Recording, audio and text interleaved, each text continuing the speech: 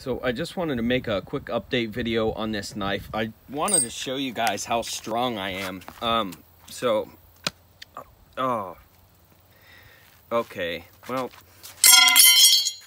ha, just kidding. So this knife actually broke. Um, that's the update. The thing's really a piece of crap.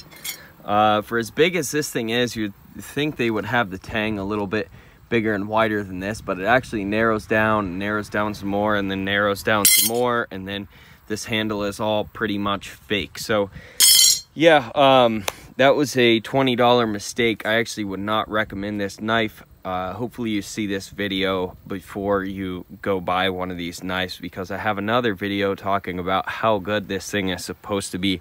And uh, it only took me uh, a few hours to actually break this thing. So, um, yeah, not very, not a very good knife.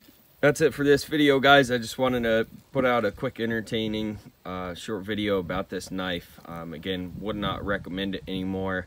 I did not realize it wasn't, you know, wasn't beefy. Like, you can just see how small it necks down. Comment, rate, subscribe for this video, and I'll catch you on the next one.